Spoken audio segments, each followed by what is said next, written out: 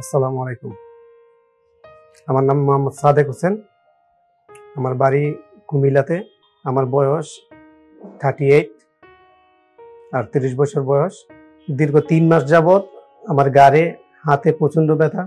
গাড় থেকে হাতে ব্যথা ব্যথা এসে পড়ে। জি জি, অবশ অবশ লাগে।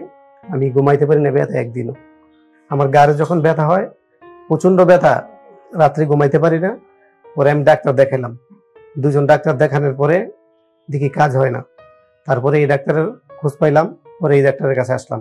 মূলত আমি ইউটিউবে দেখা পরে ডাক্তারের সন্ধান পাই, পরে এখানে ফোন দেই, ফোন দিয়ে অ্যাপয়েন্টমেন্ট নিয়ে পরে এখানে আসি। এখানে আসার পরে ডাক্তার দেখল, দেখার পরে বলছে ভর্তি থাকার জন্য। বলছে, বিশ, একুশ দিন ভর্তি থাকা লাগবো। পরে আমিও পরামর্শ করে পরে ভর্তি হই। ভর্তি হওয়ার পরে এখানে যা ট্রিটমেন্ট পাই মোটামুটি ইনশাল্লাহ ভালোই। এখন আগে থেকে একটু ভালোই আছি, আলহামদুলিল্লাহ। এখানের ফিজিওথেরাপি মোটামুটি ভালোই সেবা দেয়, আলহামদুলিল্লাহ। যেটুক দিছে, আলহামদুলিল্লাহ। এখানে নার্সের সেবাও ভালো, মোটামুটি খারাপ না ইনশাল্লাহ যা দিছে তাই, আলহামদুলিল্লাহ। যে আমার মতো রুগী যদি কেউ থাকেন, গার ব্যথার, হাত ব্যথার, আপনারা যদি মনে করেন এই ডাক্তারের কাছে আসতে আসতে পারেন, মোটামুটি খারাপ না ইনশাল্লাহ ভালো আছে। আর আমার জন্য দোয়া করবেন আপনারাও ভালো থাকেন। আসসালামু আলাইকুম। আল্লাহ হাফিজ।